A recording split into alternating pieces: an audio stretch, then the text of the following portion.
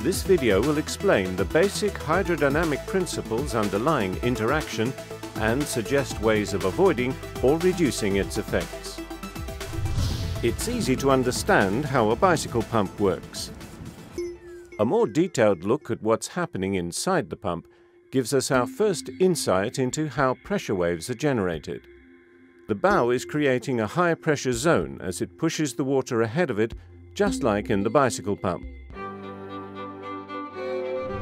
In 1738, the Dutch-born mathematician Daniel Bernoulli published a method of calculating the hydrodynamic effect on flowing water of being confined.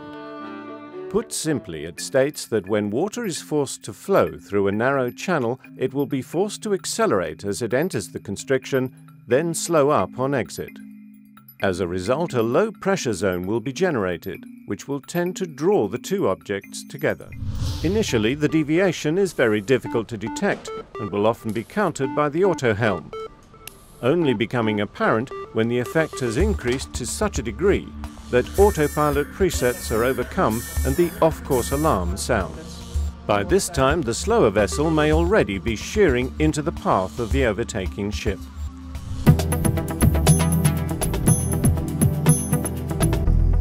Remember, the effects of interaction are directly proportional to the vessel's speed and the distance involved.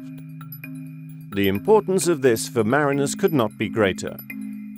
A basic knowledge of the effects of hydrodynamics and interaction is essential for all seafarers with a role in the safe navigation of a ship.